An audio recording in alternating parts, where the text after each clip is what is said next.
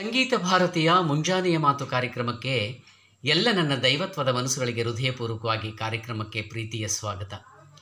ಎಲ್ಲ ನನ್ನ ದೈವತ್ವದ ಮನಸ್ಸುಗಳೇ, ಮನುಷ್ಯ ಜನ್ಮ ಅನ್ನುವಂತಹದ್ದು ಬಹಳ ವಿಶೇಷವಾದಂತಹ ಜನ್ಮ.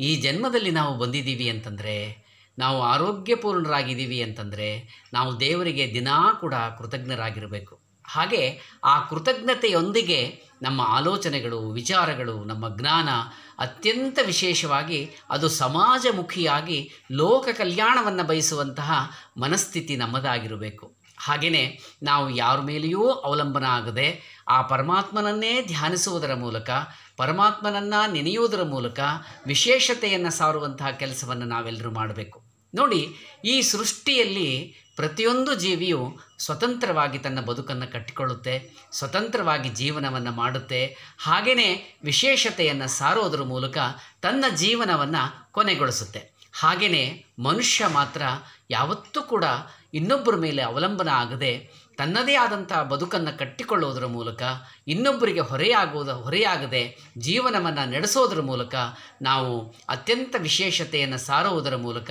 ಈ ಜನ್ಮವನ್ನು ಅತ್ಯಂತ ಸಾರ್ಥಕಗೊಳಿಸಬೇಕು ಅಂತ ಹೇಳ್ತಾ, ನಾವು ಯಾರಿಗೂ ಕೂಡ ಒಳ್ಳೇದು ಮಾಡದಿದ್ರೂ ಇಲ್ಲ, ಕೆಟ್ಟದನ್ನು ಬಯಸದೆ ಅವರಿಗೆಲ್ಲರಿಗೂ ಲೋಕ ಕಲ್ಯಾಣವನ್ನು ಬಯಸುವಂತಹ ಮನಸ್ಥಿತಿ ನಮ್ಮದಾಗಿರಬೇಕು ಅಂತ ಹೇಳ್ತಾ, ಮುಂಜಾನೆಯ ಮಾತು ಕಾರ್ಯಕ್ರಮವನ್ನು ಇಲ್ಲಿಗೆ ಮುಗಿಸ್ತೀನಿ. ನಮಸ್ಕಾರ.